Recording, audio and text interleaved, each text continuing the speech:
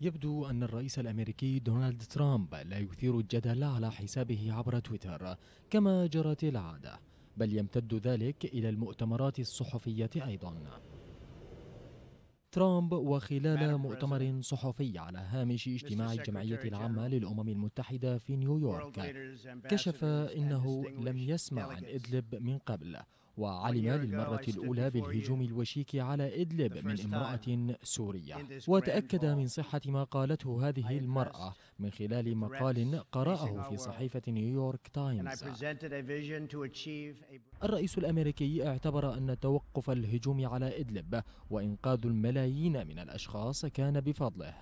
وذلك بعد أن حذر روسيا وإيران والنظام السوري عبر تغريدة قال فيها إنهم سيرتكبون خطأ إنسانيا فادحا بالمشاركة في هذه المأساة الإنسانية المحتملة.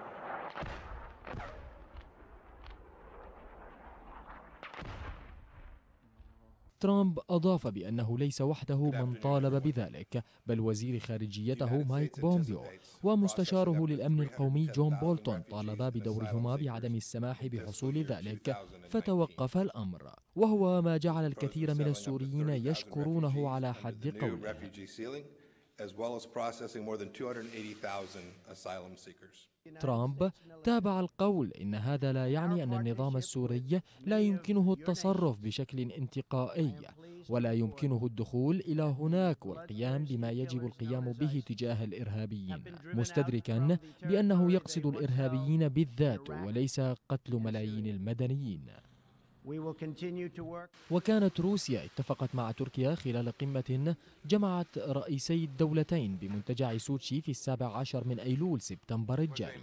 على إقامة منطقة منزوعة السلاح على طول خط التماس بين قوات النظام والفصائل المسلحة بعمق يتراوح بين 15 و 20 كيلومترا على أن تكون خالية من الأسلحة الثقيلة والجماعات الإرهابية بحلول يوم الخامس عشر من الشهر القادم.